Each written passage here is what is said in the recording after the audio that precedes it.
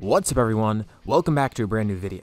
Today's scenario isn't even weird because it's something that almost happened in the series. If you remember from the ending of the 23rd World Tournament, which, let's be honest, I know a lot of people skipped it, but you're missing out. Anyways, at the end of that tournament, Kami did offer Goku the position of Guardian. Obviously he turned it down, but what if he didn't? What if Goku actually did become Kami? As in, the Guardian of Earth, because Kami's also a title, not just his name. And that's what we'll be exploring today. If there's enough interest, I'll continue this into a full series, so let's put a like goal on screen. But with all that out of the way, let's begin discussing what might have happened if Goku became Earth's Guardian. Obviously, our story begins after the 23rd World Tournament. Kami offers Goku the position of Guardian, and he accepts it this time. He isn't really too fond of it, but he does think that it might be a good idea for him because he'll have the opportunity to train under gods, which Kami also tells him about too. He wants to make it as enticing as possible, but he knows it's going to be hard. It's also worth noting Goku's going to accept it reluctantly. He didn't want it in the first place, so here Kami's gonna have to push Goku to do it. So they make some arrangements. Kami tells Goku he can live his normal life, and Kami will help him transition into being Guardian. And it'll be over the course of a few years so Goku can get adjusted to it, and he can see why it's so great. Or rather, why he's such a good fit for it. And really, he kinda has to bribe Goku with training. He's already trained under Kami and knew that he grew really strong in that way, but there's other gods above him too apparently. So Kami's gonna have to try and pull some strings. But this really does excite Goku, learning that there's people even above Kami who he thought was the greatest teacher of all. Kami doesn't know the true extent of who's above him, but he at least can probably get some access to King Kai, which is a good start. Which also means Goku's gonna have a late start actually becoming Guardian, because while Kami doesn't want him to watch over Earth, he did promise Goku this, so he's gonna let him do that first. And it's probably gonna take a while too, because knowing Goku, he's gonna be training as much as he can up there. And as Kami thinks about it, it's not that big of a deal. What's a couple decades of Goku training if it means he's gonna keep Earth in good hands for centuries beyond that? Although, as far as Kami knows, Goku's a human, so he might not actually live that long. Most humans don't even live past a century in general. And that's kind of a concern for him because how is he going to be Guardian of Earth if he's going to die in like 80 years or so, probably even less? So they're going to need to prolong his life some way. Definitely not through the Dragon Balls, but there are other methods. There's actually one perfect person out there that could help Goku extend his life even further. Goku honestly doesn't care too much about living that long either, but hey, if it's part of the role, he guesses he has to do it, and also, it's more years of training for him, so that might be fun. Maybe they could just do what Roshi does, and that's exactly what Kami was thinking. They make a visit to Kame House, and Roshi is surprised to see both of them here, especially after what they ask. So he tells them about the herb that he uses to actually extend his life even longer. He has to eat this periodically, but this keeps him from dying of old age, and it might even let them retain their current age. Goku's obviously up for the quest, especially because it's a fun little side project for him. And it's not too hard. He's able to get the herb for himself, and now with this, he's going to be able to prolong his life even further. As long as he eats this regularly, it's going to keep him youthful, and it's going to make it so that he won't age that quick. And he won't die from old age either. Although it's not just for him. It's going to be for Chi Chi too, because with her as Goku's wife, she's going to be the goddess of Earth. She's also living up on the lookout. Honestly, she didn't really know what to think of this position, but hey, it's a job for Goku. Granted, it's not a paying one, but I mean, they're living as gods. That's at least some sort of success, and they're going to be living a happy life up here, so that's all that really matters to her. And she actually likes this idea too, because it means they're going to remain young forever. Kami even takes the herb for himself and tries to make it more potent somehow. He's not sure if he can, but he's gonna work on it, because he needs Goku to be alive for as long as possible, obviously. They can't have a guardian dying a few decades later. So, Earth has a new god and goddess in training. But they're gonna be in training for a while because now Goku actually leaves to go meet King Kai. It's gonna be a little bit weird for him because first of all, he has to pass Snake Way, and that's gonna take a while, especially since he can't really fly that well yet. He can, but it's gonna be very draining to do. Kami actually does train him up a bit for a few months because this is a really rigorous task and Goku doesn't realize the scale of it until he's actually there. But Goku equips himself with a Senzu Bean, and that should make the trip a bit easier because that'll keep him full for the entire time. Which is exactly why he trained a few months beforehand, because if he didn't do this, the trip would be a lot longer and one Senzu Bean wouldn't cut it. By this point with all his training, Goku's actually close to the level he was at in the Saiyan Saga. This also might mean Gohan's born a bit later, but he still is gonna be born. It's just that Goku's been training so frequently that they don't really have the time to look after a kid. Although he is gonna be born pretty soon, like maybe a few months later than normal. Thankfully, Kami and Popo make for good nannies. And obviously Chi Chi's there too. Also, Ox King joins them on the lookout as an honorary guest. It's a nice happy family up there, at least when Goku's around. Because at a certain point he actually does make it to King Kai's planet. And when he meets King Kai, King Kai's actually a bit confused. He thought he had a human coming here, and Goku says, yeah, he is a human. Didn't he hear about this from Kami? Well, Kami told him that he's training a new Guardian, which he assumed would be human, but there's a Saiyan here now. Goku has no clue what he's talking about, and King Kai realizes Goku doesn't know that he's a Saiyan, does he? So the first thing Goku does on this planet is hearing a lecture about how he's a Saiyan, with King Kai telling him about the Saiyans and how Goku might have gotten there in the first place. This is obviously a huge shocker because Goku didn't realize that he was an alien. Well, that probably explains a lot, especially with how strong he is. And according to King Kai, these Saiyans sound like very bad people, although they seem to be all gone by now, except for a few. He's one of the last survivors, and he's really different for a Saiyan. And this is the only Saiyan on Earth that they know of. But Goku tells King Kai he's expecting a kid soon. Does that mean his kid's gonna be part Saiyan? This kinda worries King Kai. Another Saiyan on Earth? This Goku guy seems nice, but he doesn't know about another one being born. Hopefully they're not innately evil like that. But it seems like with the right people raising them, the Saiyans can be good people, so hopefully that kid is the same. And this should be interesting. With Goku being a Saiyan, he's going to be much more resilient than a normal human, which he especially needs for this training. But he does find it kind of ridiculous that they didn't know Goku was a Saiyan. That would be like Kami not knowing he's a Namekian. Wait, Kami's a what? King Kai could see they have a lot to learn. These Guardians know very little compared to him, so he's going to take Goku under his wing to make sure he's a good fit. Not only is going to train him in terms of his physical and mental strength, but he's also going to teach him some things. Over this time frame, Gohan is eventually born, although it's really strange because he's being raised on the lookout and his parents are both gods. And him being born on the lookout is actually a really good thing because with Kami and Popo there, they actually act as tutors in a way. In terms of education, he's to get a great education up here because Popo is actually very smart. This means both Goku and Chi Chi get to have what they want. Gohan actually starts training up here a bit, but also he's getting the education that he needs. Actually, a better education than he could have gotten on Earth. He has an incredibly exclusive and incredibly smart private tutor up here. They don't spend their entire time on the lookout though, because Chi Chi obviously realizes they need to be on the surface at some times. And Kami's truly starting to see what he's gotten into. Goku's not even really there that much, and Chi Chi and Gohan, they leave the lookout a bunch.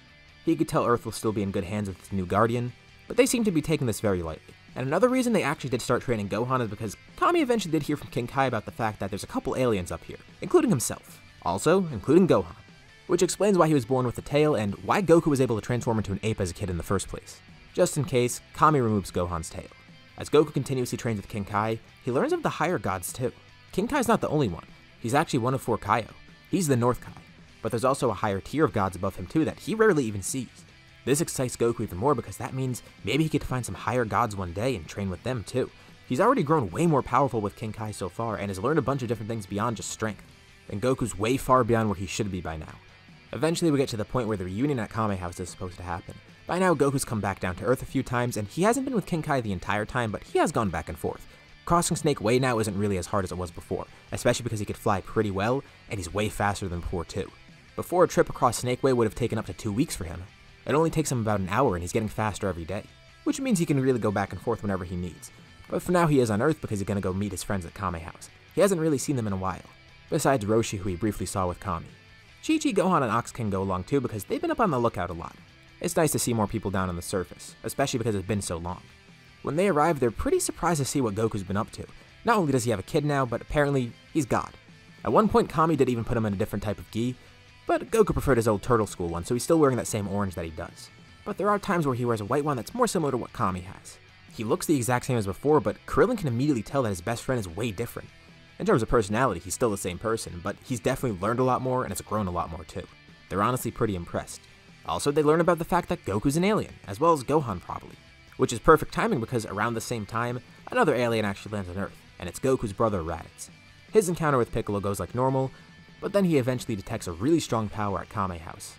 Goku's suppressed right now, but still, even when suppressed, Raditz sees that there's a power level of 500 over there, which is absurd, but he's not getting the full picture. Raditz shows up at Kame House, and it's a lot more level-headed here because Goku already knows he's a Saiyan, but didn't realize he had a brother. And since Goku knows he has control of the situation, he tells Raditz they should take this off the island because it looks like it's about to go into a fight. And if they want to settle this, they're just going to have a battle somewhere else. Raditz doesn't even attempt to take Gohan either because he doesn't see a tail on him. And they make sure he doesn't find out about Goku's relationship to Chi-Chi or Gohan. Although Chi-Chi could even fend him off on her own. But Goku goes by himself for the time being, just to make sure no one else gets hurt. He doesn't know what this guy is capable of, and clearly he's a threat. Definitely not someone that Goku wants to join forces with. After all, he is Guardian of Earth, and this is an evil threat coming to Earth. Kami even communicates with Goku in his head. He needs to expel this evil from Earth. If Raditz truly is that big of a threat, don't hesitate to kill it. In terms of when and when not to kill people, Kami has been a lot more decisive in that regard. He even wanted Piccolo to die in the 23rd World Tournament, even if that meant that he was going to die too. Plus, with all these years of experience as a Guardian, he has the experience to know when he should make this decision. Goku's still not sure yet, but he'll keep that in mind. Raditz starts the battle with Goku, and he can't do anything against him. Raditz doesn't get this though. Goku's only at a power level of 500. He checks his scouter and his power's raised. It's actually up to like 3000 now? That makes no sense. It was 500 before, he was sure of it. There's no way his younger brother's that much stronger than him. He should be weaker than Raditz.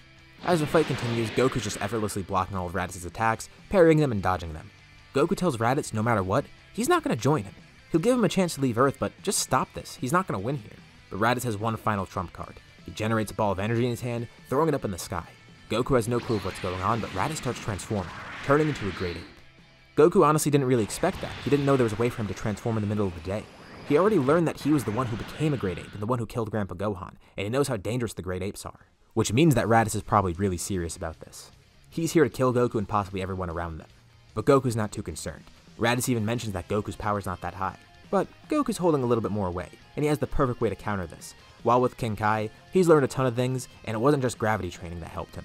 Raditz was at a power level of about 1500, so in Great Ape that would be 15,000. In base, we're gonna say that Goku's about 20,000, and I feel like that's actually pretty conservative.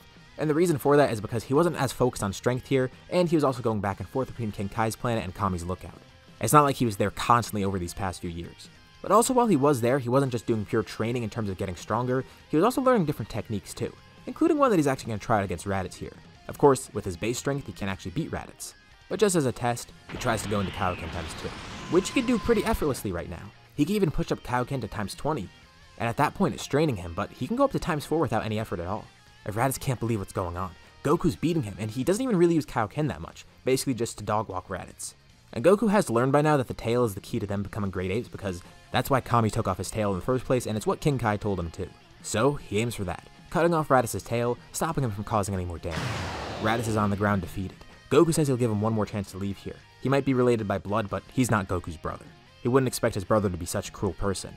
And out of anger, Raditz charges a blast at his hand, telling him this entire planet will go alongside them. He's not going to lose here just like that. He drives his hand into the ground, about to launch a blast right to the Earth's core.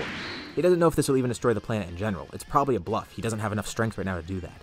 Really, only in Great Ape he could have done so. But before he can even do anything, Goku stops him, with Raditz saying he'll kill everyone here. All his friends on that island, even that kid, he'll go find them, kill them next. Maybe that will convince Kakarot to join them. And it's clear that nothing is going to make Raditz stop here. So, much to his disappointment, Goku ends up killing Raditz, especially with Kami telling him to do so. But before he dies, Raditz tells Goku that the other Saiyans will come to avenge him. There's two others out there, and they're far stronger than he is. They didn't actually hear the Dragon Balls here either, but they know that Kakarot actually seems pretty powerful. How did he beat Great Ape Raditz without transforming? That would mean his power might be just under Vegeta's level. It could be even higher, but Vegeta refuses to believe that. They don't know about his Kaioken, of course. But in base, it seems like he was able to beat Raditz, which definitely does interest them. The Saiyans leave for Earth, trying to see if they can convince Kakarot to join them.